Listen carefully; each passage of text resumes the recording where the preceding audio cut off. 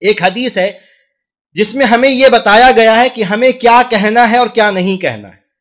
بہت مشہور حدیث ہے کہ اللہ کے رسول صلی اللہ علیہ وسلم نے ارشاد فرمایا، صحیح بخاری کی روایت ہے۔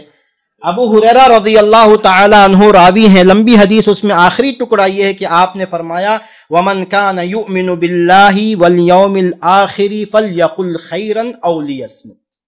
حدیث کو غور سے سنیے کہ آپ نے فرمایا کہ جو اللہ اور یوم آخرت پر ایمان رکھتا ہے۔ جو اللہ اور یوم آخرت پر ایمان رکھتا ہے فل یقل خیرن اولی یسمت وہ یا تو اچھی بات کہے یا خاموش رہے۔ وہ اچھی بات کہے یا خاموش رہے۔ اب ہم کو دیکھنا ہے کہ ہم زبان سے کوئی چیز کہنے جا رہے ہیں۔ تو ہمیں دیکھنا ہے، تولنا ہے کہ وہ جو بات ہے وہ کیسی ہے۔ فائدے مند ہے کسی کے لیے کہ نہیں؟ اگر ہم وہ دیکھتے ہیں کہ یہ میری بات فائدے مند ہے میرے لیے، میرے کسی بھائی کے لیے، کسی انسان کے لیے، کسی جانور کے لیے، کائنات کے کی، کائنات کی کسی مخلوق کے لیے اگر میری زبان سے نکلنے والی بات فائدے مند ہے، تب تو کہنا ہے۔ چاہے دنیا کا فائدہ، جائز فائدہ ہو، چاہے آخرت کا فائدہ ہو۔ تو مجھے وہ بات کہنا ہے۔ اگر میں دیکھتا ہوں بات کرنے سے پہلے، اپنی زبان سے کوئی چیز نکالنے سے پہلے دیکھتا ہوں کہ وہ بات نقصان دہ ہے، میرے لیے نقصان دہ ہے، میرے کسی بھائی کے لیے یا کائنات کی کسی بھی مخلوق کے لیے نقصان دہ ہے تو وہ بات مجھے نہیں کہنی ہے۔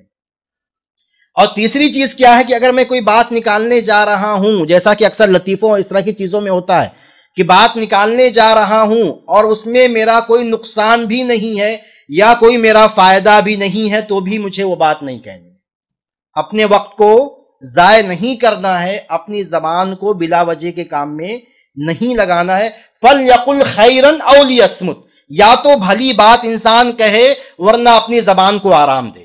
یا تو اچھی بات اپنی زبان سے نکالے، دو ہی آپشن ہے، تیسرا آپشن نہیں ہے۔ یا تو بھلی بات کہے، نیکی کی بات کہے، فائدے کی اچھی بات کہے، یا تو اپنے زبان کو خاموش رکھے اپنے زبان کو آرام دے۔ یہ پیمانہ ہے بات کرنے سے پہلے۔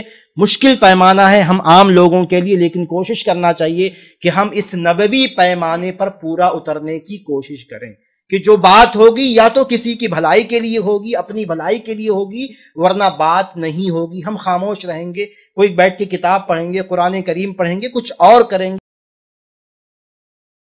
ومن احسن قولا ممن دعا الى الله وعمل صالحا وقال انني من المسلمين۔